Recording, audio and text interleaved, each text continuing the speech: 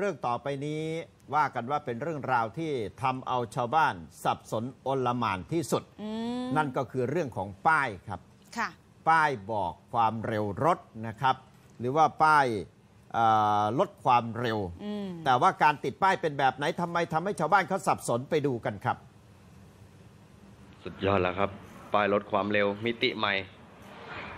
อ่าซอยตูบครับใหญ่ตูบ หมู่สี่ตำบลวังหินครับ นี่ครับ เป็นป้ายแยกครับ ทางแยก ยังไม่แก้ไขเลยนะครับ อ่า ดูดิครับกรมทางหลวงไปไหนครับนี่อ่า อืมมันเป็นยังไงดูครัฮะดูครับ อืมอันนี้เป็นทางแยกนะครับ ทางเข้า อ่า อันนี้เป็นป้ายลดความเร็วเอ่าออ สุดยอดซีกูดมักกะเลส อ่า เอ่อขอหน่วยงานเกี่ยวข้องครับคือช่วยแก้ไขชาวบ้านเขามองว่าครับป้ายเนี้ยมันเป็นป้ายชะลอความเร็วก่อนจะถึงทางแยก อะบนถนนสายวังหินไปบ้านไร่ แต่ว่าเหมือนกับ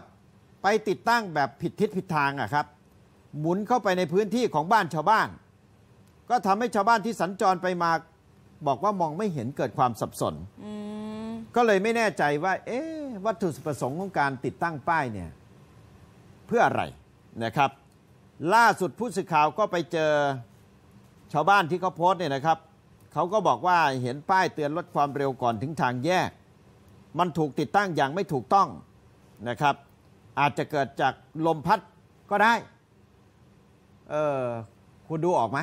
คือจริง ๆ ป้ายมันต้องหันไปทางโน้นแหละอ่าเพใช่ราะว่ามันจะถึงสามแยก อันนี้มันมันเพิ่งจะผ่านแยกมา เออ มันจะลดความเร็วจากทางแยกได้ยังไง และที่สำคัญมันควรจะเตือนว่าก่อนถึงแยกให้ลดความเร็วถูกไหมถูกค่ะอ่ามันอยู่ควรอยู่ฝั่งนี้เออป้ายควรจะหันมาเข้ามันต้องถหันฝั่งนี้ อ่าแต่ว่ามันหันไปทางโน้น แต่เมื่อทราบแล้วก็น่าจะมาเออ แก้ไขเนาะจะบอกว่าลมพัดแล้วมันหมุนไปโอ้อู้เป็นไปได้เหรอถ้าลมพัดเสาได้ใช่ทั้งไหมอื้อหือหรือตั้งใจติดอย่างนี้จริง ลมพัดเสาหรือเปล่าๆหมายความว่า เออ ชาวบ้านเขาก็งงนะ บอกเป็นเสียงเดียวกัน ว่าก็ไม่เคยเห็นเหมือนกันที่ติดลักษณะแบบนี้ว่างั้นนะเอาลองฟังดูครับ อยากให้หน่วยงานที่เกี่ยวข้องอะครับ เขามาแก้ไขครับ เพราะว่าชาวบ้านที่เขาสัญจรผ่านไปผ่านมาเนี่ยครับ เขาก็งงครับว่าป้ายเนี่ยมันเป็น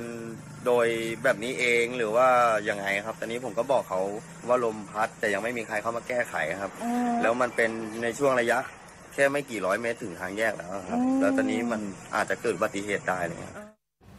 มคืออยากถ้าให้หน่วยงานที่เกี่ยวข้อะองอะครับมองกันตามจริงนะ ค่ะ ถ้าสมมติว่าจะติดเตือนคนที่มาจากแยกแล้ววิ่งไปทางโน้น ก็ต้องติดฝั่งซ้ายถูกไหมอืม แต่ว่ามาติดฝั่งขวานี่มันก็ มันก็มองไม่เห็น ผิดเลน เพราะว่าฝั่งขวารถวิ่งมาจากทางโน้น ก็จะมองเห็นหลังป้าย อืม เพราะฉะนั้นถ้าเจตนาว่า เออจะหันมาทางนี้แหละค่ะมันก็ควรจะติดฝั่งซ้ายนี้อ่าฮะถูกไหมฮะอ่าอ่าอ่าเพราะฉะนั้นชาวบ้านเขาก็เลยเชื่อว่า เอ๊ะลน่ามจะมันมีอะไรพัดหมุนหรือเปล่า ส่วนใหญ่มันก็ควรจะติดก่อนถึงทางแยกอืมใหญ่ เพราะว่าตรงนั้นมันเป็นถนนตัดกัน ใช่ค่ะใช่ไหมครับจะได้อาจรู้จะว่าเกิดมีแยกอันตรายได้ ถ้าไม่อ่ามีมีการชะลอความเร็วไว้ก่อนก็เตือนไว้อะไรค่ะประมาณอย่างนี้อะนะครับ